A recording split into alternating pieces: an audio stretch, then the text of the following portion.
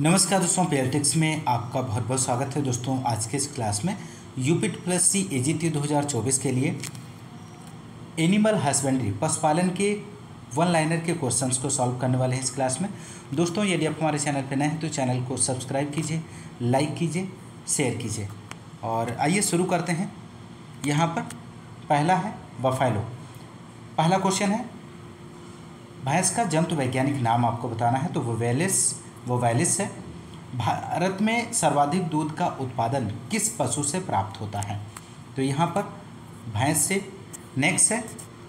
भदावरी भैंस का जन्म स्थान उत्पत्ति स्थान तो उत्तर प्रदेश और मध्य प्रदेश है। सर्वाधिक वसा किस भैंस की प्रजाति में पाई जाती है? तो भदावरी में तेरह परसेंट। नेक्स्ट क्वेश्चन है। भदावरी का मूल स्थान क्या है? तो उत्तर प्रदेश के इटावा ज़िले में। भारी बोझा खींचने वाली भैंस की कौन सी प्रजाति है? तो जफराबादी है। पशुओं में काला सोना किसे कहा जाता है? तो भैंस को कहा जाता है। एक एक प्रश्न बहुत ही महत्वपूर्ण है। साइलेंट हीट लक्षण है भैंस का। भैंस के कीचड़ पानी में नहाने, बैठने की क्रिया क्या कहलाती है? तो बाइलोइन कहलाती है।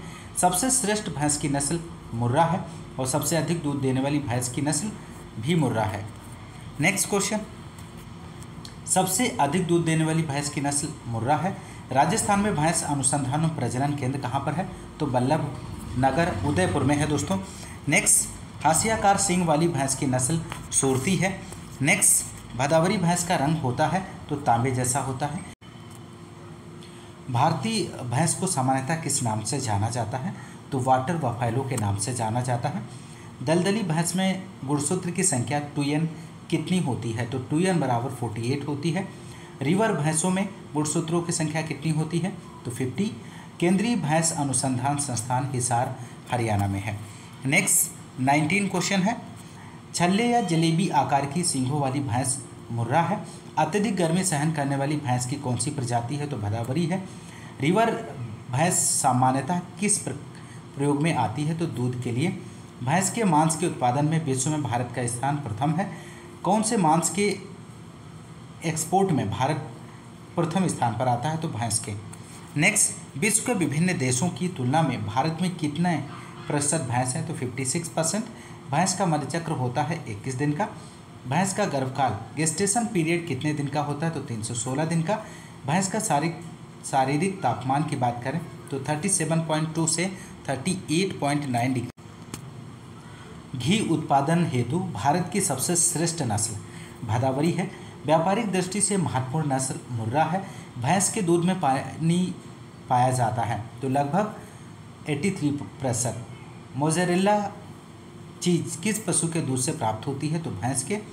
भैंस के दूध में दुग्धाम्ल पाया जाता है 5.48 परसेंट। दूध का सफ़ेद रंग केसिन के कारण होता है। और वसा में घुलनशील विटामिन की बात करें तो ए डी ई के है और जल में घुलनशील विटामिन बी सी है। नेक्स्ट काऊ के बारे में यहाँ पर। भारतीय गाय का वैज्ञानिक नाम बोस इंडिकस है। विदेशी गाय का वैज्ञानिक नाम बोस टारस है। और गाय में गुड़सूत्रों की संख्या की बात करें तो टू एन बराबर सिक्सटी है।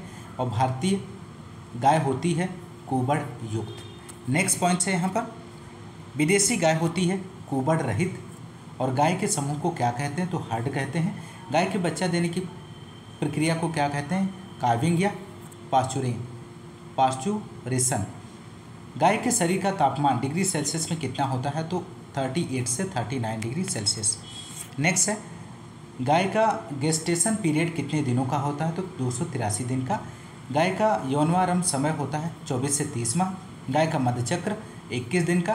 गाय के दूध में पानी की मात्रा कितने परसेंट होती है? तो 87.34 परसेंट नेक्स्ट है, भारतीय दुधारू नस्ल की पशु। साहिवाल गिर लाल सिंधी है। द्विकाजी डबल पर्पस नस्ल की गायें हरियाणा, थारपारकर कॉकरेज डॉगी, मेवाती हैं। गाय की भारवारी नस्लें की बात करें तो नागौरी है, कृष्णा वैली है, वाचूर है, मालवी, अमृत महल। विदेशी नस्ल की गाय की बात करें तो हो, होलिस्टीन, फ्रीजियन है, आयरशायर है रेडेन है, जर्सी है, ब्राउन, स्विस है। नेक्स्ट, विदेशी नस्ल की गाय की बात करें, ये कंप्लीट हो चुका है। नेक्स्ट गाय की संकर नस्लें करन स्विस और करन फ्रीस हैं। सबसे अधिक वसा वाली गाय की नस्ल जर्सी 5.5 परसेंट ध्यान रखिएगा, देसी गाय की सबसे भारी नस्ल कॉकरेज है। साहिवाल का दूसरा नाम क्या है? लोला व मोंट गोमरी है। राजस्थान की कामधेनु नस्ल राठी है। करण फ्राइज किसका क्रॉस है? Holstein into Tharparkar. गाय की किस नस्ल के कान लंबे होते हैं तो गिर नागौरी गाय होती है, सीधी पीठ, मज़बूत गर्दन, चौड़ी छाती। गाय का दूध पीला होता है, कैरोटीन के कारण।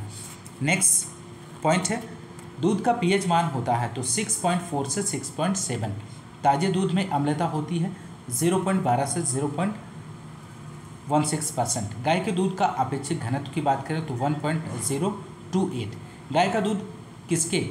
डेयरी उत्पादन बनाने में अच्छा माना जाता है तो छैना के। सर्वाधिक वसा देने वाली गाय जर्सी है। नेक्स्ट है, सबसे मीठा दूध होता है, साहिवाल भारतीय गाय का। सवाई चाल के नाम से प्रसिद्ध है कॉकरेज गाय के शरीर का तापमान की बात करें तो 38.6 डिग्री सेल्सियस। पशुओं को बधियाकरण का सबसे उत्तम समय, शीत ऋतु है। गाय के दूध में वसा रहित ठोस पदार्थ 8.5 अंगोरा नस्ल को किन नामों से जाना जाता है? तो नेल्लोर और अंगोरा के नाम से जाना जाता है। नेक्स्ट है यहाँ पर भेड़। भेड़ का वैज्ञानिक नाम की बात करें तो ओविस एरिस है। भेड़ों के समूह को क्या कहते हैं? तो फ्लॉक कहते हैं। भेड़ का प्रौढ़ नर क्या कहलाता है? तो रैम कहलाता है।